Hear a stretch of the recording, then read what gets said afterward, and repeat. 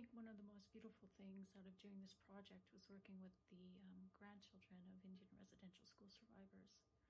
Some of them hearing their grandparents' stories for the first time and consistently